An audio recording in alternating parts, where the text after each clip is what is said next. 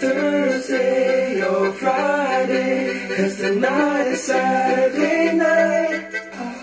Friday's the only day I make